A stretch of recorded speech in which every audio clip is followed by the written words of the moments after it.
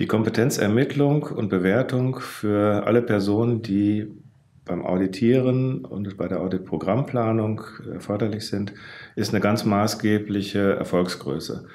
Man hat lange diskutiert, äh, wie man sicherstellen kann, dass kompetente Auditoren verfügbar sind, denn der, das Ergebnis, die Wirksamkeit des Audits steht und fällt mit der Kompetenz der und dem Handeln der Auditoren vor Ort.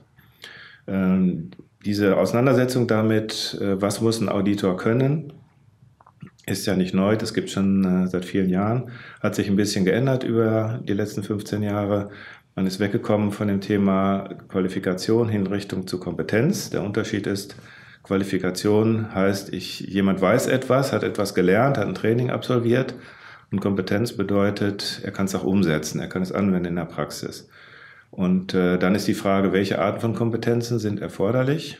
Das ist äh, sehr umfangreich. Es gibt verschiedene Themenfelder, die Auditoren können müssen.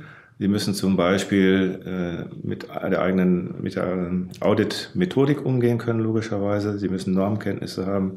Sie müssen die Organisation kennen, müssen Branchenkenntnisse besitzen. Dann sogenannte disziplinspezifische Fähigkeiten und Fertigkeiten. Das heißt, Sie müssen wissen, was, wo geht's, worum geht's in einem Fachrichtung Qualität und Qualitätsmanagement, wo geht's beim Informationssicherheitsmanagement. Diese einzelnen Umweltmanagement-Disziplinen müssen arg bekannt sein. Auch dort braucht man Wissen und Fertigkeiten. Ähm, und natürlich auch äh, Bewertungsverfahren und Methoden müssen Auditor können. Und was ganz wichtig ist, er muss äh, sozial adäquat handeln können. Das heißt, die Sozialkompetenz ist ein ganz maßgeblicher Faktor. Ohne den bekomme ich keine Akzeptanz vor Ort. Und äh, also alle diese Facetten müssen adressiert sein und die Organisation muss sich, wenn sie ein Audit plant oder auch das Auditprogramm aufstellt, überlegen, welche Fähigkeiten brauchen die Menschen, die wir als Auditoren einsetzen und muss sicherstellen durch geeignete Verfahren, dass diese Kompetenz auch da ist. Also sowohl die Analyse als auch dann hinter die Umsetzung. Das heißt, Sie müssen Bewertungsmethoden festlegen, müssen die Personen, die als Auditoren in Frage kommen, danach bewerten und auswählen und beauftragen.